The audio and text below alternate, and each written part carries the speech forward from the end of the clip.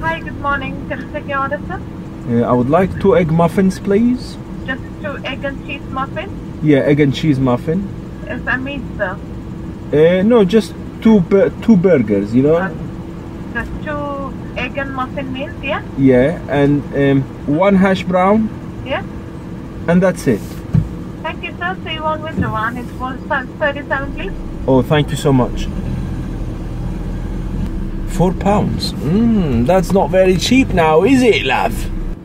So I, I've been chatting to that girl, right? And she's like, "Do you want to go out with me and all?" And I'm like, "I tell you what, I'm not, I'm not being funny, right? But if you want me to go out with you, I'm not, I'm not gonna pay for the drinks. No, you gotta pay for them. No, if me and you are gonna sit in the cinema, watch a movie, I'm not gonna hold your hand. I, I tell you that. I'm sorry. Thank you. See you later. You too. كوكا كولا على الصبح عمركم شفت حد يشتري كوكا على الساعة 6 الصبح Good morning Yeah, thank you Yeah, you too Thank you See you Ah, thank you mademoiselle mademoiselle اضرب اللايك بدل ما انت قاعد تتفرج عليا كيت. شفت النكاح كلمة محترمة.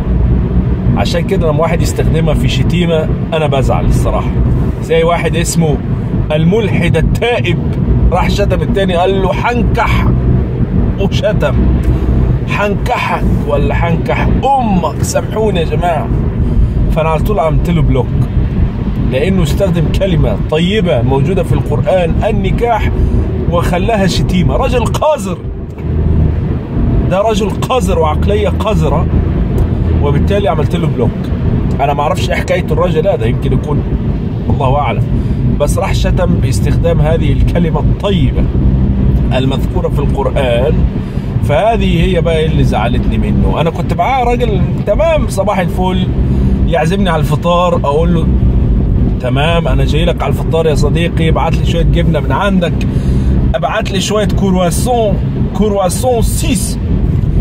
ولكن لما بدأ يشتم عرفت إن هو رجل فاشل. اضرب اللايك لو أنت معايا في هذا الرأي. النكاح كلمة محترمة. فلا تشتم بها يا صديقي. ما دهاك يا صديقي؟ اهبيل أنت؟ نحكي معاك بالتونسي. اهبيل أنت؟ شبيك أنت؟ هبيل إيه توا توا نجي لك أنا توا.